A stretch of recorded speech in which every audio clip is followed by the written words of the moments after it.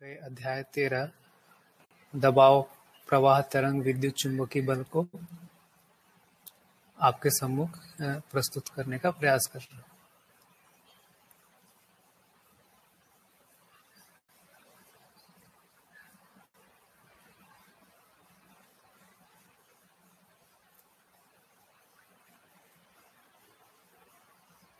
तो समय तो हो चुका है। तीन बज के तीस मिनट हो चुका है तो शुरू कर सकते हैं। दबाव, प्रवाह, तरंग, विद्युत चुंबकीय बल। दबाव। स्वभाव गति से भिन्न सम विषम आवेश के लिए प्राप्त व्यवस्थाएँ दबाव है। तो इसको बहुत ही सिंपल दे सकते हैं। जैसे एक प्रेशर जो कहते हैं हम लोग इंग्लिश में, उसी को दबाव कह रहे हैं। तो जैसे कोई गाड़ी खड़ी है, उसको धक्का मार दिया तो वो चलने लगता है। वो भी एक प्रकार का दबाव है। और इस दबाव का प्रयोग हम बहुत सारे उपकरणों में भी करते हैं, जैसे हाइड्रोलिक पंप में करते हैं। तो उससे बहुत सारी बड़ी बड़ी मशीनरियों को चलाया जाता है। जैसे हम जेसीबी वगैरह में देखते हैं, उसमें हाइड्रोलिक प्रेशर के थ्रू उसके जो इक्विपमेंट्स हैं, उसको ऑपरेट किया जाता है। तो इस तरह से सामान्य रूप में उसको देखा ही जा सकता है। साथ ही इसमें जो सम विषम आवेश का है तो सम का मतलब है कि हम कोई चीज़ बना रहे हैं, उसमें यदि हम उसका प्रयोग करते हैं तो सम हो गया। कोई चीज़ को बिगाड़ने के लिए या उसको नष्ट करने के लिए जो उपयोग हुआ, वो सब विषम हो गया। तो दोनों ही तरह से दबाव का प्रयोग होते हुए देखा जाता है। जैसे हम कोई लोहे को मोड़ करके कोई खिड़की बनाना है, दरवाज़ा बनाना है तो वो सब बनाने के लिए भी दबाव का प्रयोग करते हैं। पहले से बनी हुई चीज़ है, मान लो पुरानी हो गई तो उसको तोड़ने के लिए भी उपयोग कर लेते हैं। तो इस तरह से दबाव का प्रयोग होते हुए देखा जाता है। नेक्स्ट है प्रवाह। निरंतर रस द्रव्य का ढाल की ओर गति प्रवाह है। तो ये जो रस द्रव्य कह रहे हैं, द्रव्य का मतलब लिक्विड है तो जैसे नदियों का प्रवाह हम देख सकते हैं और जैसे बॉडी में ब्लड का फ्लो रहता है, वो भी एक तरह का प्रवाह है। हवा का भी प्रवाह होता है। तो इस तरह से जो फ्लो है कोई भी चीज़ का, उसको यहाँ पे प्रवाह कह रहे हैं। आगे है तरंग। ठोस, तरल, विरल में भिन्न भिन्न रूप में भिन्न भिन्न तरीके के तरंग होना पाया जाता है। ठोस वस्तु में कंपनात्मक गति के रूप में तरंग, तरल में, अर्थात पानी में, हवा के संयोग से अथवा किसी पदार्थ, जीव, जानवर, मानव के संयोग से उत्पन्न प्रतिक्रिया तरंग रूप में है। जैसे मानव के पत्थर फेंकने से, कूदने से, हवा के दबाव से पानी कंपनात्मक गति, अर्थात ऊपर नीचे होता है, सही दौड़ता है। यही तरंग के नाम से जाना जाता है। विरल वस्तु में शब्द, ताप, विद्युत, किरण, विकिरण तरंग रूप में प्रमाणित होते हैं। तो यहाँ पे तरंग को बताए हैं। तरंग मतलब बेसिकली कोई भी वस्तु में जो कंपन है, उसको तरंग कहते हैं। तो यह ठोस में भी होता है, तरल में भी होता है, विरल में भी होता है। ठोस का अर्थात सॉलिड है, जैसे मिट्टी, पत्थर हो गया। तरल में लिक्विड वाली चीज़ें आ जाती है, जैसे तेल हो गया, पानी हो गया विरल में, गैस को विरल कह रहे हैं, उसमें ऑक्सीजन, कार्बन डाइऑक्साइड, ये सभी चीज़ें आ जाती है। तो तीनों प्रकार की वस्तुओं में तरंग पाया जाता है। ठोस में कोई चीज़ एक दूसरे से टकराने से, पानी के ऊपर पत्थर फेंक देने जो उसमें हलचल होती है, उसको तरंग कहते हैं। और वायु में भी तरंग होता है, जिसको हम ध्वनि तरंग के रूप में, जिसको यहाँ पे शब्द लिखा है। और ताप जो है है ना? तो ताप भी एक तरह से तरंग ही है, जो वायु में संचरित होती है, अर्थात एक वस्तु से दूसरे वस्तु में पहुँच जाती है और उसी तरह से विद्युत, किरण, विकिरण, ये सब के रूप में तरंग का देखा जाना यहाँ पे बताया जा रहा है। अब आगे देखते हैं कि विद्युत तरंग क्या चीज़ होती है। यह चुंबकीय धारा के विखंडन से उत्पन्न प्रवाह है। चुंबकीय धारा जिन छोटे छोटे रूप में विखंडित हो पाते हैं, वे टुकड़े किसी माध्यम से संप्रेषित होते हैं, अर्थात दौड़ते हैं। माध्यम के बारे में संपूर्ण प्रकृति विद्युत धारा का धारक वाहक होना पाया जाता है। संपूर्ण प्रकृति विद्युत ग्राही है। कम से कम या अधिक से अधिक। यह कम या अधिक होना दबाव प्रवाह मात्रा विधि से तय होता है। तो विद्युत तरंग के बारे में बता रहे हैं कि जो चुंबकीय धारा है, उसको यदि हम विखंडित करते हैं तो उसके विखंडन से माध्यम में जो प्रवाह उत्पन्न हो जाता है, वो विद्युत तरंग है। तो उसको हम लोग अभी देखते ही हैं, जैसे हम जनरेटर से जो बिजली पैदा करते हैं, वो इसी का एक उदाहरण है। तो जनरेटर में बेसिकली क्या होता है कि एक चुंबक रहता है, जनरेटर में एक, दो चुंबक रहते हैं, उस, उनके बीच में चुंबकीय धारा लगातार बनी ही रहती है। उसके बीच में आर्मेचर घूमता है, जिसमें कॉपर की बाइंडिंग रहती है तो उसमें वो आर्मेचर घूमने से उसके चुंबकीय क्षेत्र को काटता है, उससे उसमें विद्युत धारा पैदा हो जाती है, जिसको, जिससे हम आगे कोई भी उपकरण चलाने के लिए उपयोग करते हैं। तो इस तरह से उसको बताया गया। साथ में यहाँ पे ये बताया कि संपूर्ण प्रकृति जो है, विद्युत की धारक वाहक होती है। तो इसको भी देख सकते हैं कि जितनी भी वस्तुएँ हैं उसमें विद्युत धारा प्रवाहित हो सकती है। उसको बता रहे हैं कि कम या ज़्यादा हो सकता है। जैसे तांबे के तार में ज़्यादा होता है, उससे कम एल्यूमिनियम में होता है। और कई चीज़ों में बहुत ही कम होता है, जिसको कुछ अलग भी कहते हैं, जैसे लकड़ी हो गया, प्लास्टिक हो गया। तो उसमें बहुत ही कम मात्रा में होता है, लेकिन कम ज़्यादा सब में होता है, ऐसा बता रहे हैं। ध्वनि तरंगे नेक्स्ट है ध्वनि तरंगे, इसको देखते हैं। ध्वनि और भाषा तरंग, ध्वनि एक से अधिक वस्तुओं के संघर्ष से एक में होने वाली स्वयं स्फूर्त क्रिया से ध्वनि होना पाया जाता है। इसके प्रयोग में कोई दो पत्थर को घिसने से ध्वनि होता है, कोई भी दो वस्तु के आपस में टकराने से ध्वनि होता है। इसी प्रकार, पत्ते हवा से हिलने पर भी ध्वनि होता है। इसी प्रकार मानव गला तालु ओठ जीव के संयोग से पैदा सॉरी ध्वनि ध्वनि पैदा करते हैं। इसको राग कहते हैं। यह ध्वनि ही है। इसी प्रकार से गाय, बैल, भैंस, बकरी, जीव, जानवर अपने अपने ढंग से ध्वनि निष्पादित करते हैं। जीव, जानवर, चिड़िया, मेढक आदि के ध्वनि उन उन प्रजाति के लिए भाषा भले ही हो और प्रकृति के लिए ध्वनि रूप ही स्वीकार हुआ है। वैसे ही मानव के लिए भी अपनी भाषा अर्थ संगत भले हो, अन्य प्रकृति के लिए ध्वनि होना प्रमाणित है।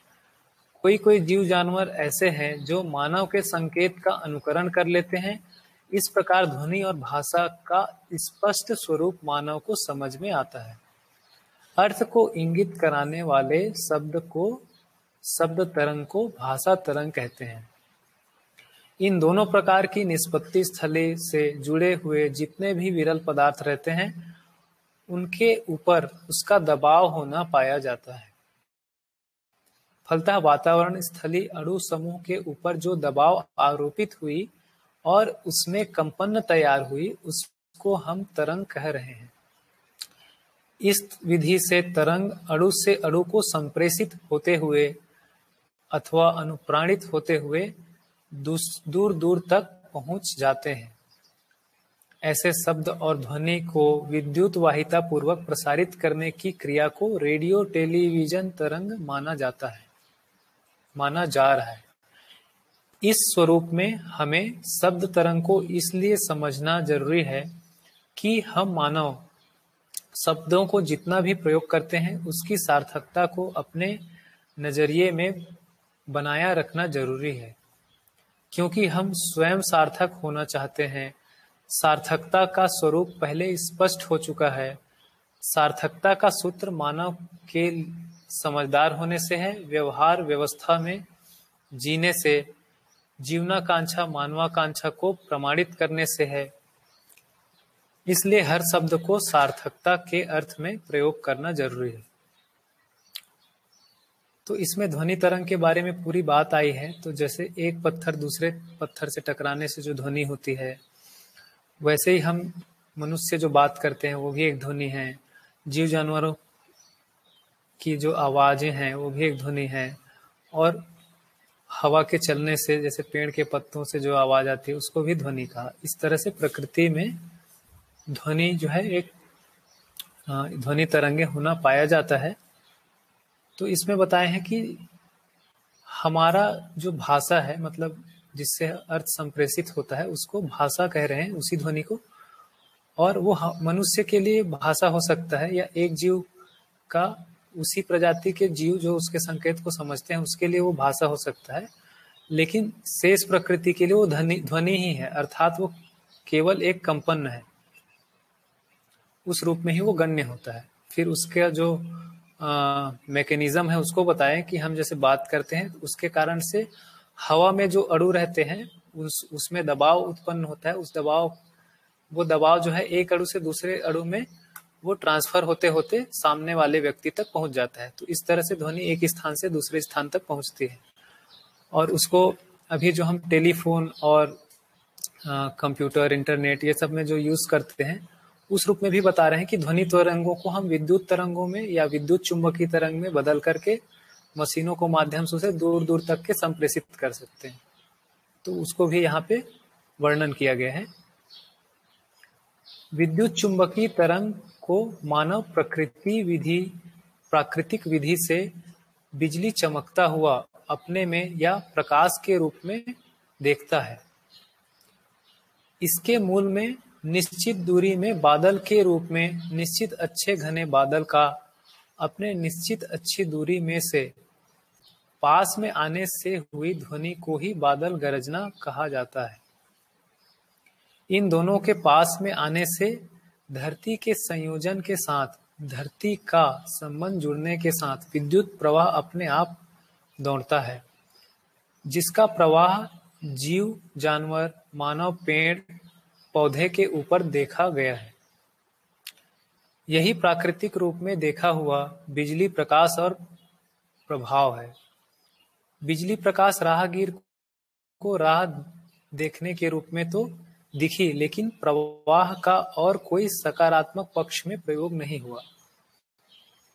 इन दोनों स्थिति को देखा हुआ मानव, यह क्या है, कैसा है, बहुत कुछ सोचा, समझा अंततोगत्वा चुंबकीय धारा का विखंडन विधि से, जिसको डायनेमो कहा जाता है, साइकिल साइकिल के चक्के के साथ घुमाकर प्रकाश को प्राप्त किया।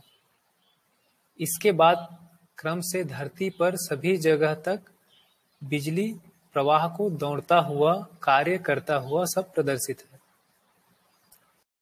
जो प्राकृतिक रूप में बिजली होती है, उसको यहाँ पे बता रहे हैं कि बादलों के आपस में टकराने से या पास में आने वो और वो जो है धरती के साथ संयोजन अर्थात उसका बीच में जो ह्यूमिडिटी रहती है आ, पानी के जो कण रहते हैं उसके माध्यम से वो धरती के साथ कनेक्ट हो जाता है। फलस्वरूप वो बिजली का वहाँ से प्रवाह होता हुआ देखने को मिलता है जिससे देखते हैं कि कई पेड़ के ऊपर जो बिजली गिरने से वो क्षतिग्रस्त हो जाता है और अपने मकानों को सुरक्षित रखने के लिए उससे हम उसमें तड़ित चालक लगा के रखते हैं। तो ये सब हम देखते ही हैं। तो उसको बता रहे हैं कि प्राचीन समय से ही, बहुत पहले से ही मनुष्य जो है, उस बिजली को, के प्रकाश से वो राह देखने के लिए उपयोग में करते रहे रात में। और लेकिन उसके प्रवाह का कोई उपयोग नहीं कर पाए हैं अभी तक, पर उस उस बिजली को देख करके मनुष्य जो है, के कल्पना में बिजली आने से उससे संबंधित यंत्र बना लिए, जैसे डायनेमो जिसको जनरेटर कहते हैं, उसको बना करके, उसको आ, कोई साइकिल के चक्के जैसे बोले हैं तो जैसे उस तरह से उसको घुमा करके उसमें बिजली पैदा करके फिर उससे इलेक्ट्रिक बल्ब वगैरह जला के हम उससे प्रकाश भी प्राप्त करते हैं। और एक और महत्वपूर्ण बात है इसमें जैसे ध्वनि तरंग के बारे में ऊपर कहा गया था कि शब्दों को प्रयोग करते हुए यहाँ पे एक ध्यान आकर्षण कराए हैं कि हर मनुष्य में सार्थक होने की एक चाहत होती है तो हम कोई भी शब्द का प्रयोग करते हैं तो उसका प्रयोग करते समय हमें ध्यान रखना चाहिए कि वो सार्थक हो रहा है कि निरर्थक हो रहा है। तो यहाँ पर सार्थक शब्द उसी को कहा है जो जीवनाकांक्षा और मानवाकांक्षा को पूरा करने के लिए सहयोग, सहायक है। तो जैसे दर्शन में हम पहले पढ़े ही हैं कि जीवनाकांक्षा का अर्थ होता है सुख, शांति, संतोष, आनंद और मानवाकांक्षा होता है समाधान, समृद्धि, अभय सहस्तित्व तो इसमें पूरक होने के लिए, सहयोगी होने के लिए हम जो भी भाषा प्रयोग करते हैं, शब्द प्रयोग करते हैं, वो सभी सार्थक शब्द कह रहे हैं और इसके विरोध में जो भी शब्द होगा, वो निरर्थक शब्द कहा जाएगा। आगे है। विद्युत धारा में घोषित, विश्लेषित दो मुद्दों पर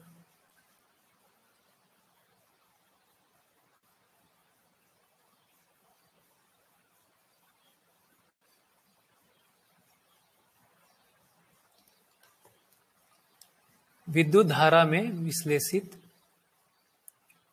विद्युत धारा में घोषित विश्लेषण दो मुद्दों पर है। एक है विद्युत धारा का स्रोत और दूसरा है विद्युत प्रवाह में होने वाली क्रियाकलाप। तो आगे इन दो मुद्दों पर विश्लेषण दिया गया है कि विद्युत धारा का स्रोत जो है वो क्या चीज़ होती है और उसके प्रवाह जो में क्या क्रियाकलाप होती है, उसका प्रोसीजर क्या होता है। इसका डिटेल आगे है, उसको देखते हैं। विद्युत प्रवाह के मूल में चुंबकीय धारा के विखंडन के बराबर में विद्युत धारा होना, विद्युत धारा चुंबकीयता से मुक्त न होना, फलता चुंबकीय विद्युत धारा का नामकरण होना सार्थक पाया जाता है। इसमें धारा के साथ परमाणु अंश दौड़ती रहती है, ऐसी परिकल्पना दी गई है। वास्तविकता रूप में यदि परीक्षण करने के लिए तत्पर हो जाए तो हम यह पाते हैं, हर माध्यम में स्वभाव गति के रूप में जो अणुओं का संकोचन प्रसारण बना रहता है, विद्युत प्रवाह की स्थिति में वह संकोचन प्रसारण बढ़ जाता है।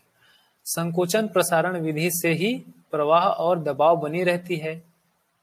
संकोचन विधि से दबाव, प्रसारण विधि से प्रवाह होता हुआ देखने को मिलता है।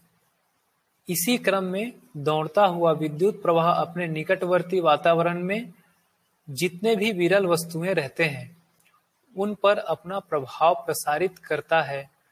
फलस्वरूप, विद्युत धारा के साथ साथ उसका प्रभाव क्षेत्र बना रहता है। इस प्रभावी क्षेत्र को अत्यल्प दबाव प्रवाह रूप में भी देखा जा सकता है। सर्वाधिक दबाव प्रवाह के साथ भी देखा जा सकता है। तो इसमें ये ये बात को बता रहे हैं कि विद्युत जो है, उसके साथ साथ चुंबकीयता सदैव बनी ही रहती है। और इसका जो विद्युत जो उत्पन्न होता है, अर्थात विद्युत का जो स्रोत है, वो चुंबकीयता ही है। चुंबकीय धारा को हम विखंडित करते हैं तो उसी से विद्युत जो है, वो वो उत्पन्न होता है। इसको बता रहे हैं तो इसमें आगे जो बता रहे हैं कि जो विज्ञान में जो बताया जाता है कि कहीं भी विद्युत धारा का प्रवाह होता है तो उसमें परमाणु अंश अर्थात इलेक्ट्रॉन का फ्लो उस वायर में होना पाया जाता है।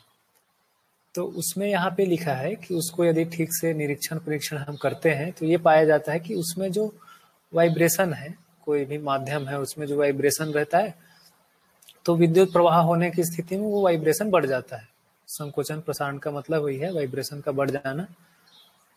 तो उस विधि से जो है विद्युत धारा का प्रवाह होता है वाइब्रेशन के रूप में।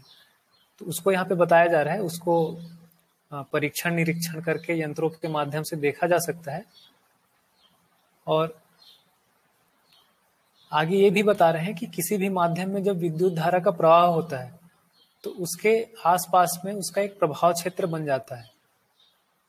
जिसको हम इसको अच्छा उदाहरण के लिए देखें तो ट्रांसफार्मर के रूप में देख सकते हैं। ट्रांसफार्मर में जैसे एक वायर रहता है, उसके ऊपर दूसरे वायर को लपेट दिया जाता है और उसका जो है कोई डायरेक्ट कांटेक्ट नहीं होने के बावजूद भी दूसरे वायर में जो है वो करंट फ्लो होने लगता है। तो इस रूप में हम देख सकते हैं कि उसका जो प्रभाव है, विद्युत किसी तार में यदि प्रवाहित होता है तो उसके आसपास उसका प्रभाव क्षेत्र जो है पैदा हो जाता है।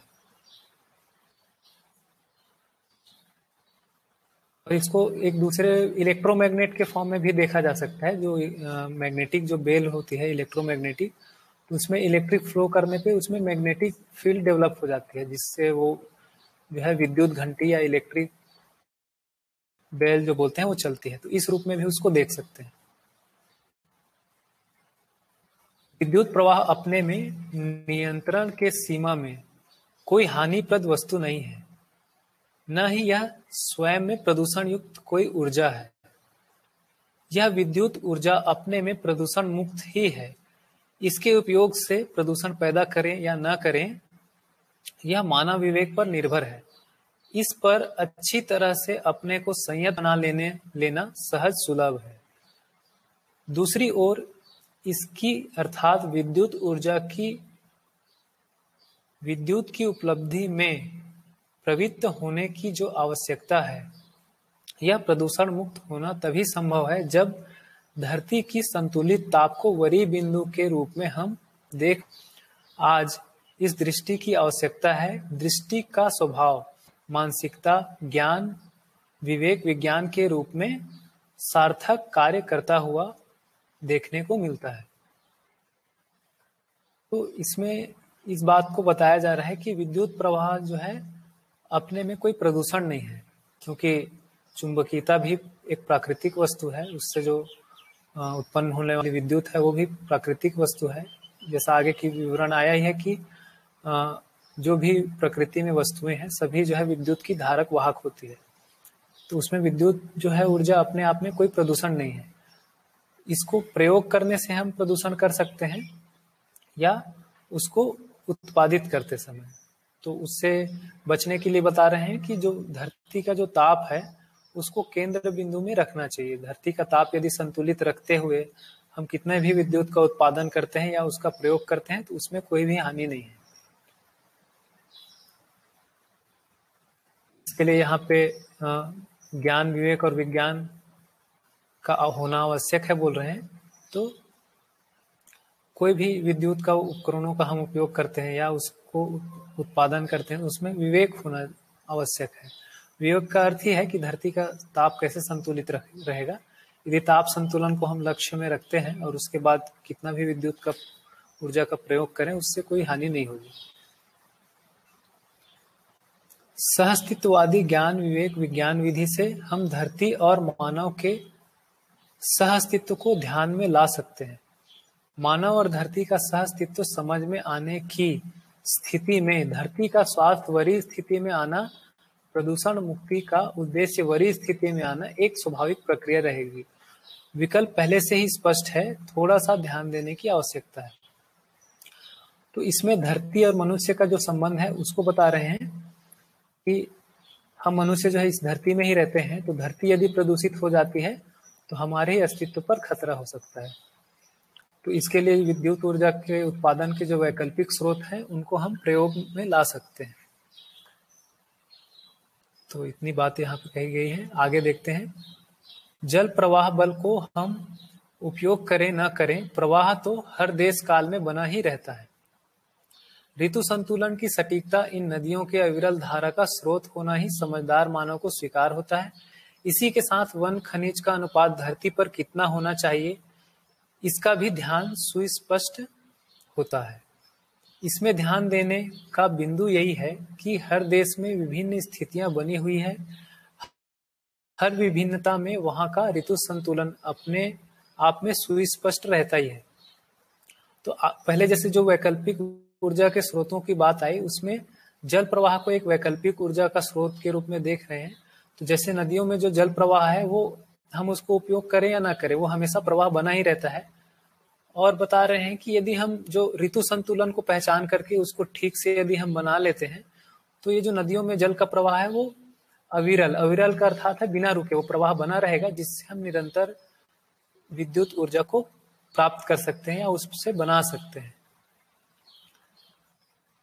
आगे है, विकल्प विधियों में अर्थात प्रदूषण मुक्त विधि से हम विद्युत को जितना पा रहे हैं, उससे अधिक प्राप्त कर लेना आवश्यक है। ऐसे विद्युत से सड़क में चलने वाली जितनी भी गाड़ियाँ हैं, उसके लिए बैटरी विधि से विद्युत को संजो लेने की आवश्यकता है, जिससे छोटी से छोटी, बड़ी से बड़ी गाड़ी चल सके। उसकी उपलब्धि जैसा खनिज तेल उपलब्ध होता है, ऐसा हो सकता है। इसे हर समझदार व्यक्ति स्वीकार कर सकता है। जहाँ तक खेत में चलने वाली गाड़ी, हवा में चलने वाली गाड़ी की बात है, उसके लिए वनस्पति तेल को योग्य बनाकर उपयोग करेंगे। जल पर चलने वाले जहाजों के लिए वनस्पति तेल अथवा सूर्य ऊर्जा और बैटरी विधि तीनों को अपनाए रखेंगे। इस क्रम में मानव का मन सज जाए, मानव एक बार ताकत लगाए तो प्रौद्योगिकी संसार अर्थात प्रवाह बल के साथ जूझते मानव जाति से प्रकृति के साथ होने वाले पाप कर्म, अपराध कर्म रुक सकते हैं। तो इसमें आगे बताए हैं कि जो सड़कों में चलने वाली गाड़ियाँ हैं, जो हम पेट्रोल से या डीजल से चलाते हैं, उसमें बैटरी का उपयोग करके उसको विद्युत ऊर्जा से चला सकते हैं। और कुछ कुछ मशीनें जिसमें बैटरी का प्रयोग करते नहीं बनेगा, उसमें हम बायोडीजल का प्रयोग कर सकते हैं।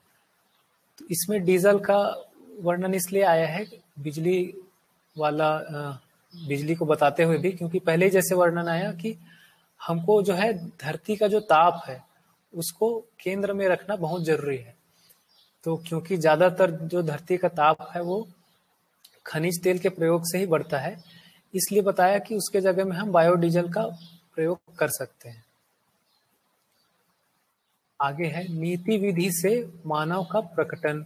वनस्पति और जीव संसार का प्रकटन होने के बाद हम स्वीकार कर चुके हैं समझ भी चुके हैं। इसके बावजूद नीति के साथ अपराध में जुड़ गए, इससे छूटना आवश्यक है। जल प्रवाह एवं सूर्य उष्मा उक्त दोनों स्रोत पर विचार करें तो यह पता चलता है कि मानव प्रयोग करे ना करे, प्रवाह रहता ही है। सूर्य उष्मा हर समय धरती को छुआ ही रहता है। इसको भले प्रकार से हम समझ सकते हैं, अपने ज्ञान, विवेक विज्ञान पूर्वक प्रयोग और प्रौद्योगिकी विधि को अपना सकते हैं। तब विद्युत स्रोत जितना चाहिए मानव को, उससे भी कई गुना रहना संभावित है। तो इसमें वर्णन किया गया है कि हम पहले भी ये चीज़ अध्ययन कर चुके हैं, समझ चुके हैं कि जैसा अभी भी पढ़ाई में आता ही है कि मानव का प्रकटन से पहले ही जो वनस्पति का प्रकटन और जीव का प्रकटन जो है हुआ रहता है, उसके बाद ही मानव का प्रकटन होता है। तो यदि हम खनिज को, वनस्पतियों को या जीव संसार को कोई भी क्षति पहुंचाते हैं तो आगे चल करके मानव को भी उससे क्षति पहुँचना ही है। तो मानव का प्रकृति के साथ जो संबंध है, उसको ध्यान में रखते हुए हमको विद्युत ऊर्जा का प्रयोग करना चाहिए और अपने लाइफ स्टाइल को उस तरह से ही बनाना चाहिए।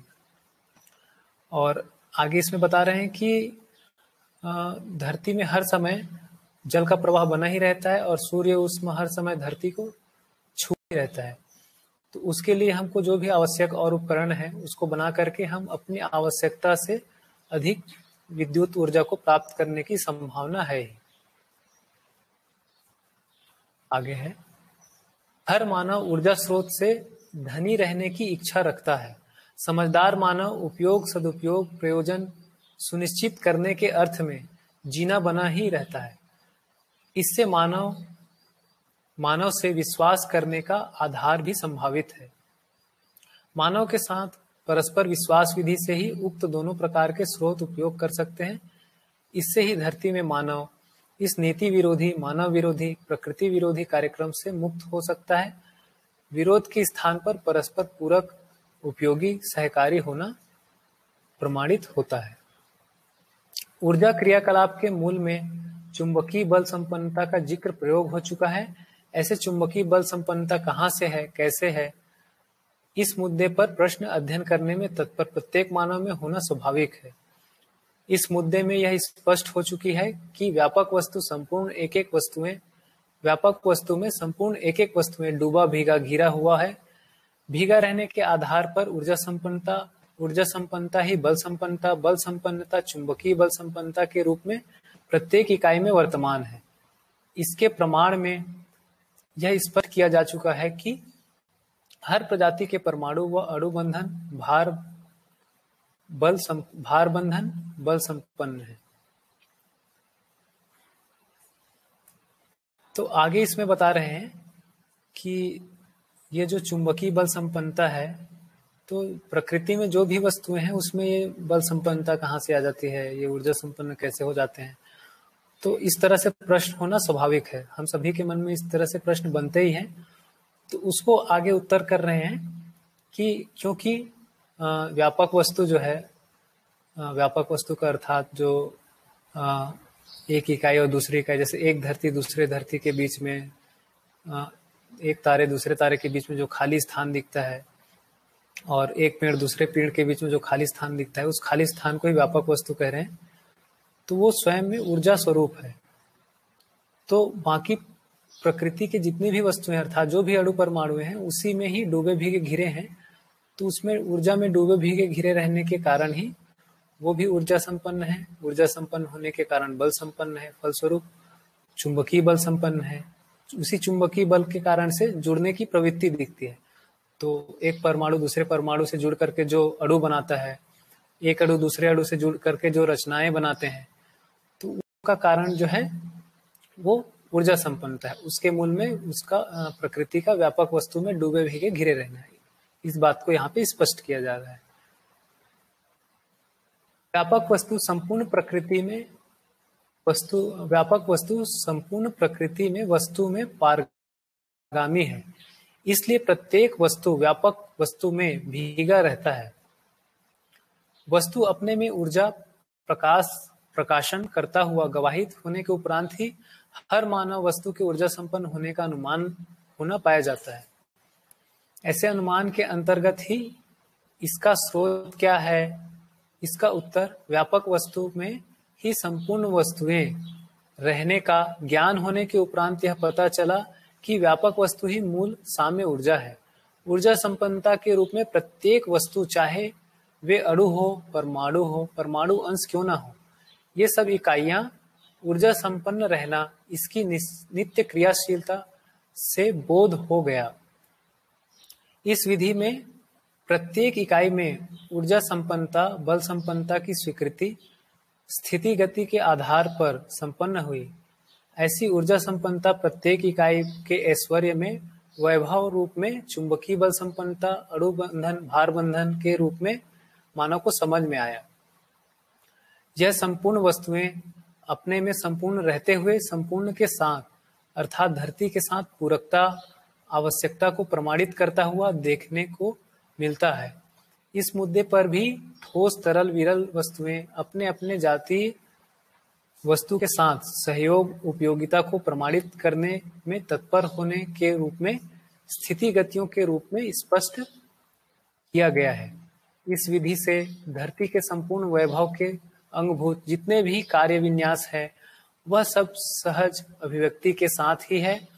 मानव अपने अद्भुत शिल्प यांत्रिकता के साथ जितने भी विद्युत धारा को उत्पादित करने के लिए प्रवाहित करने के लिए उपक्रम करते हैं, वह उपक्रम में प्रवाह मिलता भी है। वह प्रवाह अंततोगत्वा धरती में ही समाकर सहस्तित्व को प्रमाणित कर देता है। तो जैसा कि पिछले वाले पैराग्राफ में बताए थे कि वस्तुओं को हम क्रियाशील देखते हैं, जैसे नदियों का बहना है और पेड़ों का बढ़ना हो गया, मनुष्य के जीव जंतु के क्रियाकलाप को देखते हैं। तो हर वस्तु के क्रियाकलाप के मूल में ऊर्जा होती ही ऊर्जा संपन्नता होती है तो उसको बता रहे हैं कि ये सभी चीज़ें जो है व्यापक वस्तु में डूबी हुई है, भीगी हुई है, घिरी हुई है, इसलिए ऊर्जा संपन्न है। ऊर्जा संपन्नता के कारण ही उसमें बल संपन्नता है, जिसके कारण से चुंबकीय बल संपन्नता है, जिसके कारण से वो अणु बंधन और भार बंधन बनाते हैं। अणु बंधन के कारण से परमाणु अणु बनाता है, भार बंधन होने के कारण से एक दूसरे के साथ वो जुड़ करके रख रहते हैं। जैसे धरती है तो धरती पे जितनी भी वस्तुएँ हैं, वो भार बंधन के कारण धरती में जुड़ी रहती है। धरती के साथ अपने संबंध को पहचानी रहती है। इसको आगे ये भी बता रहे हैं कि धरती पे जितनी भी वस्तुएँ हैं, वो एक दूसरे के लिए पूरक है और उपयोगी है। जैसे मिट्टी को देखें तो मिट्टी पेड़ पौधों के लिए पूरक होती है। मिट्टी में ही पेड़ पौधे उगते हैं, फिर पेड़ पौधे जीव जंतुओं के लिए पूरक है। पेड़ पौधों को खाकर ही जीव जंतु जो है बड़े होते हैं रहते हैं और साथ में वो उनका आवास स्थली जो है सभी का मिट्टी ही है, अर्थात पदार्थावस्था है। और इन सब के साथ ही मानव रहता है। तो इस तरह से सबका आपस में सहअस्तित्व है और ये सभी मानव के लिए पूरक है। तो उसको बता रहे हैं कि हम अपने विवेक का प्रयोग करके हम भी इन सब के लिए पूरक हो सकते हैं। और आगे ये बताए हैं कि ये जो विद्युत ऊर्जा है वो धरती से ही उत्पन्न होते हैं और अंततोगत्व उसी में समा जाते हैं। तो जो एक तरह से बताया कि चुंबकीय क्षेत्र को विखंडित करने से ही वो विद्युत पैदा होती है और अंतत्वगत वो धरती में समा करके पुनः चुंबकीयता में परिवर्तित हो जाती है। और क्योंकि ये बताएँ कि धरती पर जितनी भी वस्तुएँ हैं वो सभी विद्युत के धारक वाहक अर्थात सभी में चुंबकीयता होती ही है वो जो विद्युत के रूप में जो आवेश हुआ रहता है, वो पुनः सामान्य होकर चुंबकीयता में परिवर्तित हो जाता है। जैसे हम कोई वस्तु को, जैसे पानी को हम लेकर के गर्म कर देते हैं, उसके बाद उसको छोड़ देते हैं, कुछ समय के बाद वो, उसका जो ताप है, वो आसपास के हवा के कणों में वितरित होकर के वो सामान्य हो जाता है। उसी तरह विद्युत भी एक तरह से आवेशित गति है, जो सामान्य होकर के पुनः चुंबकीयता में परिवर्तित हो जाती है।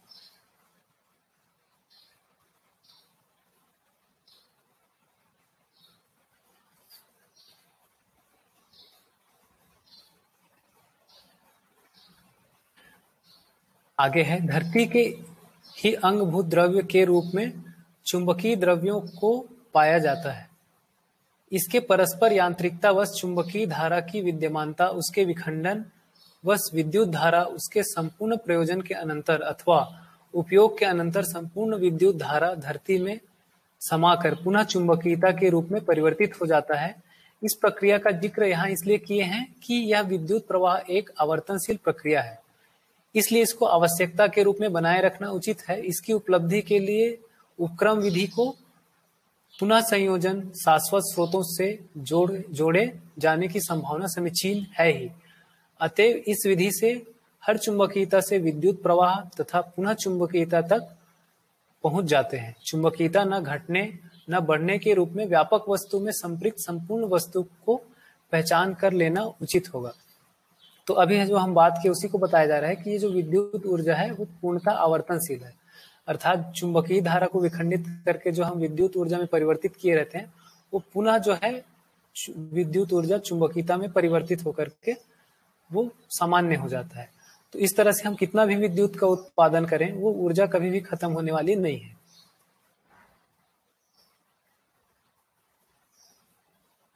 यह तथ्य हमें समझ में आ चुका है कि चुंबकीयता वस्तु में प्रकट होता है। ऐसे चुंबकीय द्रव्यों को ससम्मुख यांत्रिकी विधि से निश्चित अच्छी दूरी पर स्थित करने की स्थिति में इन दोनों की परस्परता में चुंबकीय धारा बना ही रहता है। चुंबकीय धारा का मतलब एक दूसरे के साथ मिलने की प्रवृत्ति। इन दोनों वस्तु के बीच कितने भी अणु परमाणु विरल रूप में रहते हैं, इन्हें चुंबकीय प्रभाव क्षेत्र में होना पाया जाता है। इसका विखंडन, इसके विखंडित क्रम में धारा को प्रवाह को ग्रहण करते हुए देखने को मिलता है। यही पुनश्च माध्यम के द्वारा दूर दूर तक पहुँचता है। तो आगे बता रहे हैं कि किन्हीं भी दो चुंबकों को यदि हम लें तो आ, कोई भी हम दो चुंबक लेंगे तो देखते ही हैं कि चुंबक को रखने से पास में रखने से दोनों एक दूसरे को आकर्षित करते हैं उसमें आकर्षण होना पाया जाता है। और उसके जो ध्रुवों को बदले तो उसमें प्रतिकर्षण भी होता है एक दूसरे से दूर जाने की जो प्रवृत्ति होती है ऐसा भी देखा गया है। तो उसको बता रहे हैं कि कोई भी दो चुंबक यदि लेते हैं तो उनको उनके बीच में चुंबकीय धारा बना ही रहता है जो आपस में एक दूसरे से जुड़ने की जो प्रवृत्ति के रूप में और उसके साथ ही उसके बीच में जितने भी अणु परमाणु रहेंगे वो सब चुंबकीय क्षेत्र में होना पाए जाते हैं। अर्थात उसके तो उसके बीच में कोई भी अणु परमाणु को यदि गति करता है तो जैसे कोई आ, वायर को हम गति कराते हैं उसमें कोई कुंडली जिसको कहते हैं तो वो गति करने से उस, वो चुंबकीय क्षेत्र को विखंडित करते हैं। फलस्वरूप उसमें विद्युत धारा उत्पन्न हो जाती है, जिसको हम आगे और माध्यम में संप्रेषित करके उससे किसी भी उपकरणों को चला सकते हैं। ऐसे विखंडन क्रम में क्या कोई वस्तु द्रव्य बना रहता है कि नहीं? इस मुद्दे पर यही स्पष्ट होता है कि हर अवकाश में कुछ न कुछ संख्या में अणु होते ही हैं। यही अणु चुंबकीय धारा के प्रवाह क्षेत्र में होना भी स्पष्ट हो चुकी है। विखंडन क्रम में इस अवकाश में चुंबकीय प्रवाह क्षेत्र में आए अणुओं में विद्युत धारा से प्रभावित होना स्वाभाविक है। इसी के साथ साथ यह भी अनुमान होता है कि चुंबकीय प्रभाव और विखंडन दबाव के साथ इन अणुओं का परमाणु में विघटित होने अथवा परमाणु विघटित होकर परमाणु अंशों के रूप में दौड़ने लगने की संभावना बनी रहती है। विद्युत प्रवाह के साथ। यद्यपि प्रवाह के माध्यम, प्रवाह के साथ माध्यम पर होने वाले प्रभाव, उसके फलस्वरूप होने वाली क्रिया स्पष्ट होती है। माध्यम पर विद्युत प्रवाह प्रवाहित होते ही उसमें संकुचन प्रसारण बढ़, बढ़ना हो ही जाता है। इसको हर जिज्ञासु अर्थात प्रयोग पूर्वक समझने की इच्छा रखने वाला परीक्षण निरीक्षण कर सकता है। तो यहाँ पर बता रहे हैं, जैसे पहले भी इसका बात हुआ था कि विद्युत प्रवाह यदि होता है किसी माध्यम में तो उसके आसपास जो भी अणु परमाणु रहते हैं, उसके ऊपर उसका प्रवाह होता है। तो इसमें इस संभावना को भी बता रहे हैं कि उस, वो प्रवाह से, उस प्रभाव से जो है प्रभावित होकर के अणु परमाणु में और परमाणु जो है परमाणु अंशों में विखंडित होकर के उस माध्यम में दौड़ सकता है। तो इसके संभावना भी बनी रहती है, इसको बता रहे हैं और आवश्यकता अनुसार इसको प्रयोग करके भी देखा जा सकता है। जितने भी उपक्रम विद्युत प्रवाह के लिए बन चुके हैं, प्रवाहों को नियंत्रित करने, संयत करने, विभाजित करने, उपयोग करने और उपयोग करने, नापने और सुनिश्चित करने के जितने भी उपकरण बन चुके हैं, पर्याप्त लगते हैं। यदि आप और कोई, यदि आगे और कोई आवश्यकता होने की स्थिति में मानव में शोध अनुसंधान प्रवृत्ति है ही, इससे आपूर्ति होने की संभावित आपूर्ति होना संभावित है। इससे आश्वस्त होते हुए शाश्वत निरंतर प्राप्त विद्युत निष्पादित यंत्रों को संचालित करने के लिए स्रोतों का अवश्य में प्रयोग करना ही हमारा सौभाग्य भविष्य होगा। तो आगे बता रहे हैं कि विद्युत का उपयोग करने के लिए या उसको उत्पन्न करने के लिए जो भी आवश्यक उपकरण है, वो अभी मानव जाति में पर्याप्त रूप में बनाया जा चुका है और उसका प्रयोग करना एक तरह से हमारा सौभाग्य है उसका प्रयोग करना ही चाहिए। वो हमारे लिए बहुत बढ़िया बात है ऐसा बता रहे हैं। और यदि आवश्यकता पड़ती है आगे तो मनुष्य में तो है ही कल्पनाशीलता तो आगे और उपकरणों को बनाया भी जा सकता है। तो इस तरह से यहाँ पे बात को बता रहे हैं। तो विद्युत का प्रयोग मतलब कोई भी आ, मतलब खराब चीज़ नहीं है वो बहुत ही अच्छी चीज़ है ऐसा इसको बताया जा रहा है। विद्युत का प्रयोग करके आ, हम जो है एक तरह से प्रदूषण मुक्त ऊर्जा के स्रोत को प्राप्त कर सकते हैं। आगे देखते हैं, आज तक पुरुषार्थी मानव से बैटरी के रूप में जो उपलब्धियाँ हुई है, उसमें सेल वाली बैटरी और प्लेट वाली बैटरी। पहले सेल वाली बैटरी में एक कार्बन प्लेट होना पाया जाता है, उसके चारों ओर रसायन द्रव्य और जिंक या सीसा का कवच होना पाया जाता है। इसके अंदर जो रसायन द्रव्य रहता है वह सीसा या जिंक के साथ क्रिया करते हुए अणु के रूप में आवेशित होकर अपने प्रभाव क्षेत्र के विद, में विद्युत प्रसारण किया करता है। यह प्रभाव क्षेत्र एक के साथ एक जुड़कर कार्बन के साथ जुड़े रहते हैं इसलिए इसमें विद्युत प्रवाह उपलब्ध हो पाता है। इस बैटरी से बल्ब जलते हुए देखते हैं। तो यहाँ पे बाबा जी जो है वो मनुष्य को, अभी जो मानव जाती है, उसको अप्रिसिएट करते हुए बोल रहे हैं कि मानव ने बैटरी के रूप में एक बहुत बढ़िया चीज़ को बनाया है। फिर जो दो प्रकार की बैटरी होती है, उसको भी बताया एक जो कार्बन और जिंक बैटरी होती है, जो हम घड़ी के सेल वगैरह जो रहते हैं, और दूसरा प्लेट बैटरी बता रहे हैं, जो कार की बैटरी हो गई, और जो इन्वर्टर में यूज़ करते हैं लेड एसिड बैटरी वो बैटरी होती है। तो उस तरह से बैटरी को बता रहे हैं, और उससे जो बल्ब जलाना और अलग अलग उपकरणों को चलाना हो तो हम देख देख ही रहे हैं। आगे है दूसरी विधि, वो प्लेट बैटरी के बारे में आगे बता रहे हैं। दूसरी विधि से प्लेट बैटरी में भी रसायन द्रव्य, अम्ल, लवण आदि द्रव्य होते ही हैं। अम्ल तो होते ही हैं। इनके संयोग में आए हुए धातुओं में क्रिया संपन्न होना स्वाभाविक रही, रहती है। इसमें धातु अणुओं को आवेशित करने के लिए प्रवाह को पहुँचा, पहुँचाया जाता है। यह विद्युत प्रवाह उस बैटरी कवच में स्थापित धातुओं पर प्रभाव डालता है। फलस्वरूप रसायन संयोग से धातुओं के अणु आवेशित होकर विद्युत ग्राही बन जाते हैं। इसी को चार्ज कहते हैं। इस क्रम में विद्युत प्रभाव से उत्पन्न, प्रभाव परिपूर्ण होने के फलस्वरूप उस बैटरी से प्रकाश आदि क्रिया में काम लेता हुआ मानव यान वाहनों में प्रयोग करता हुआ देखने को मिलता है। इसमें से यंत्र संचारण के आरंभ में उसमें विद्युत प्रवाह को प्रयोजित करते हैं। यह सर्वविदित तथ्य है कि इन सब तथ्यों के साथ मानव कि जो आज की स्थिति में जो क्षमता है, उसके अनुसार ये सब विधियों से विद्युत प्रवाह की निष्पत्ति, उसका नियंत्रण और कार्य विधियों में पारंगत हो चुके हैं। इसलिए इन सभी मुद्दों पर जो तकनीकी विद्या है, उसमें उपयोग, सदुपयोग, प्रयोजनशीलता तथा प्रकृति का अनुपाती शोषण न हो, इसके सुनिश्चित होने की आवश्यकता न सुनिश्चित होने की आवश्यकता है। ये मिस प्रिंट हो गया, नहीं है, वो है आएगा।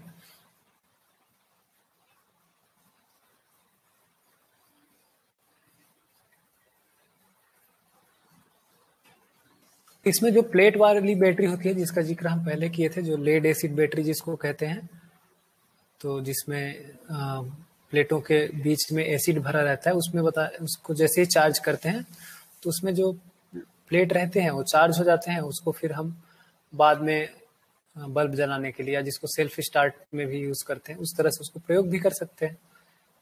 तो इस तरह से बता रहे हैं। फिर आगे का प्रयोग करते हुए प्रकृति का शोषण ना हो, इस बात को ध्यान में रखना ज़रूरी है, ऐसा बता रहे हैं।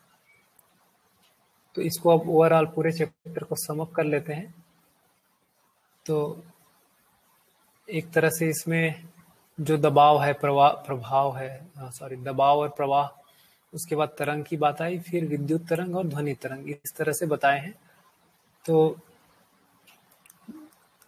दबाव प्रवाह विधि से कोई माध्यम में हम तरंग को पैदा करते हैं। इस तरह से बता रहे हैं। उन्हीं तरंगों को विद्युत और ध्वनि तरंग के रूप में होना पाया जाता है।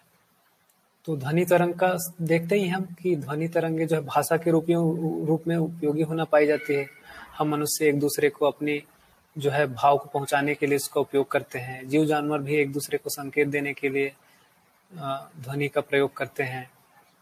तो इस तरह से ध्वनि जो है एक इकाई से दूसरे इकाई में कोई संकेत को पहुँचाने के लिए ध्वनि का प्रयोजन सिद्ध होते हुए हम देखते ही हैं। तो इसमें बात आई कि ध्वनि का प्रयोग करते समय हम ध्यान रखें कि उसका सदुपयोग हो जाए अर्थात मानव के विकास में और प्रकृति के विकास में सहायक होता है तो उसका सदुपयोग हो गया। यदि उसके लिए कोई विरोधी चीज़ हो गई तो वो जो है उस, उसमें उसका दुरुपयोग हो गया। तो इस तरह से हम भाषा का प्रयोग करते समय ध्यान रख ही सकते हैं कि हम किस तरह से भाषा का प्रयोग करें, किस तरह से हम जो है एक तरह से पुस्तकों को बनाएँ, किस तरह से लेख को लिखें। तो उस सभी को करते हुए हमको भाषा के सदुपयोग को ध्यान में रखना आवश्यक है। ये एक बात आई। दूसरा आ रहा है अपने आप में एक प्रदूषण मुक्त ऊर्जा है और उस, उसके जो उत्पादन के तरीके हैं, उसके लिए बहुत सारे वैकल्पिक स्रोत बताए कि जैसे नदियों में निरंतर प्रवाह बना रहता है, सूर्य का ताप जो है धरती को हर समय छुआ ही रहता है। तो उसको हम उपयोग करके अपने आवश्यकता से अधिक विद्युत को बिना प्रदूषण के प्राप्त कर सकते हैं। और उसका भरपूर उपयोग किया जाए, ऐसा इसमें एक एप्रिसिएशन भी आया है कि विद्युत का प्रयोग करके हम जो खनिज तेल का उपयोग करते हैं वाहनों में, उससे होने वाला प्रदूषण से बच सकते हैं। और बैटरियों का उपयोग करके मतलब सड़क पे चलने वाले जो वाहन हैं, उसमें भी उपयोग कर सकते हैं। और और अन्य बहुत सारे जो उपकरण हैं, उसमें भी उसका प्रयोग किया जा सकता है। तो उस, ये जो विद्युत ऊर्जा है, इसको बनाते समय, उसको उपयोग करते समय, धरती के ताप को संतुलित रहे, इसको ध्यान में रखने को बहुत बड़ा इसमें मुद्दा बताए हैं। और आगे उसको ये भी बताया कि धरती के साथ जो मानव का संबंध है क्योंकि धरती में जो शेष जो चीज़ें हैं, जैसे पेड़ पौधे हैं और जीव जानवर हैं, उसके आने के बाद ही मनुष्य आता है और वो सब स्वस्थ रहने से ही मनुष्य भी स्वस्थ रह पाता है। यदि धरती प्रदूषित हो जाती है तो हम मानव भी स्वस्थ नहीं रह पाएँगे। तो उस मुद्दे पे ध्यान आकर्षण कराया गया है कि हम विद्युत ऊर्जा का कितना भी प्रयोग करें तो वो प्रयोग करते समय धरती स्वस्थ रहे, उसमें कोई प्रदूषण ना हो, इसको ध्यान में रखते हुए हम कितना भी प्रयोग करें तो वो जो है सार्थक है पूर्णता और बहुत ही अच्छा है। इस तरह से पूरे चैप्टर में बात आई है और आगे कोई प्रश्न होगा तो उसको देख लेते हैं।